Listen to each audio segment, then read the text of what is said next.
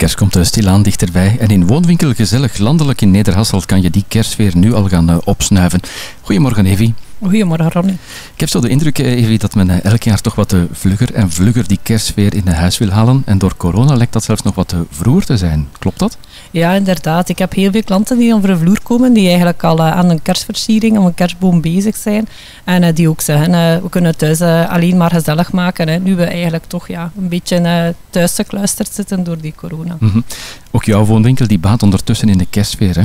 Inderdaad. Uh, Hanses huis en tuin is omgetoverd uh, in de kerstsfeer. Hm. Uh, wat dat het heel gezellig maakt natuurlijk. Absoluut. Wat is zo het hebbeding voor kerst 2021?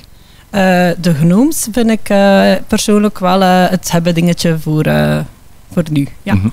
En wat is jouw favoriet?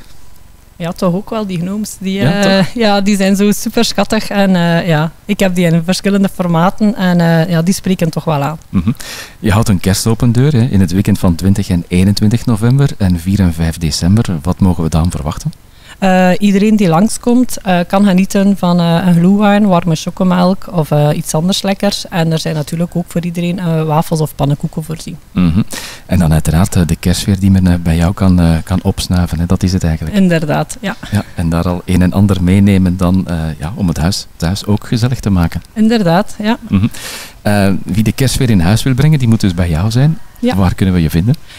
ik ben gelegen op de Keienberg 1 in Nederasselt, dus een deelgemeente van Ninove. Zeg, Evie, veel succes. Dankjewel. En tot binnenkort. Ja.